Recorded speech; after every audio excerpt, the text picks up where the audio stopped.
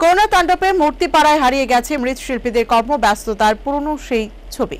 মাথায় হাত মৃৎশিল্পীদের। মহামারী করোনার তাণ্ডবে মূর্তিপাড়ায় হারিয়ে গেছে মৃৎশিল্পীদের পুরনো সেই কর্মব্যস্ততার ছন্দ। কয়েকদিন পরই বাঙালিদের ঘরে ঘরে পূজিত হবেন মা মনসা। অথচ এবছর করোনার কারণে মা মনসার মূর্তির চাহিদা একেবারে নেই বললেই চলে। আগের মতো মূর্তি তৈরি করতে ভরসা পাচ্ছেন না মূর্তির কারিগররা। ফলে কঠিন আর্থিক সমস্যার মুখে পড়েছেন মৃৎশিল্পীরা। চরম হতাশার সুর তাদের মুখে। মনসা মূর্তি আছে, একটা অর্ডার পাইছি না না, এটা না, দুই তিনটা অর্ডার আছে। হ্যাঁ দুই তিনটা মূর্তি অর্ডার করছে। হ্যাঁ তো আর এমনিতেও আমার সবসময় এইগুলি যায়, বাড়ির ঘরে স্থাপিত মূর্তি পূজা করে তারা। এটি প্রত্যেক বছরই যায়।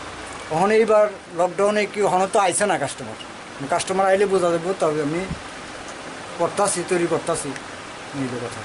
মনসা মূর্তি তো বিশ পঁচিশটা বানাবে সব কি মানে অর্ডারই নাকি তার মানে?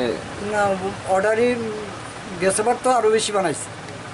গেছেবার তো মূর্তি গেছে কেন ওখানে এইবার বানাইছি কয়েকটা যদি যায় কারণ আর মনে হয় না বেশি যাইব কারণ করোনা পরিস্থিতিতে। অনেকে পূজা করতেও নাও পারে ঘট পূজা করে লাগবে এগুলোর জানাচ্ছে দেখা যাক এদিকে ধারাবাহিক লকডাউনের কারণে এবছর বিভিন্ন পূজা ও ধর্মীয় অনুষ্ঠান জাঁকজমকভাবে অনুষ্ঠিত হয়নি করোনা সংক্রমণের ভয়ে। বাসন্তী পুজো থেকে সেই ধারা এখনও অব্যাহত রয়েছে রাজ্যসহ গোটা দেশ জুড়ে।